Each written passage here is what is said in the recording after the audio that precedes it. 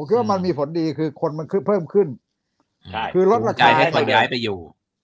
คือลดราคาเนี่ย มันมีผลหลายอย่าง มันเป็นเรื่องดีคือเราได้เสนอพัฒนาที่เรื่องดินยี่สิบาท เพราะว่าอืมอันที่หนึ่งคือคนมันเพิ่มใช้เยอะขึ้น คนมันใช้รถน้อยลง หรือว่าอย่างน้อยการจราจรมันแออัดน้อยลงแล้วก็อย่างน้อยก็คือแบบไอ้คนที่มันขึ้นยี่สิบาทเนี่ยนะมันก็จะรู้สึกว่าโอเควะดีกว่า คือไปขึ้นรถเมล์แล้วแบบว่าเอ่อดมควันพิษอะไรหน่อยเขาก็เขาก็ อย่างน้อยๆใช่ไหมคนที่มันคุณภาพชีวิตมันดีขึ้นทุกอย่างแหละ แต่ทีนี้ปัญหาคือว่าเรา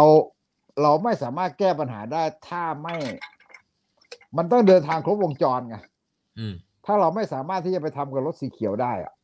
อืมที่ใช่มันเป็นสายหลักอะผมเนี่ใช่ยป่ะทีนี้ปัญหาคนสีที่เลยเขีบ้ายนผวเนี่ยมไปซอยหนึ่งนี่ซวยแล้วนะทำยังไงซอยเดียวสานะสีขีซวยทำเลยไงนะเพราะอีกสายสีสเขียวถามีนีอย่างเดีเดียยววคือเขาเสียสิบห้าบาทนะแฟลตเลทไปอืมจนถึง ไปจนถึงเคหะนะ ถ้าเขาไม่ลงสายแบสีเขียวริ่งอะทำยังไงเขาไปคืออิมพีเรียนสำโรงนี่เขาตายเกลือเลยนะเขาโดนสามต่อผมผมว่าจริง ๆ คือต้องปล่อยให้แบบสัมปทานหมด อันที่หนึ่งคือไม่ต่อสัญญา ใช้หนี่ใช้ใช้หนี่ รัฐบาลควรจะต้องใช้หนี่ มันจำเป็นต้องใช้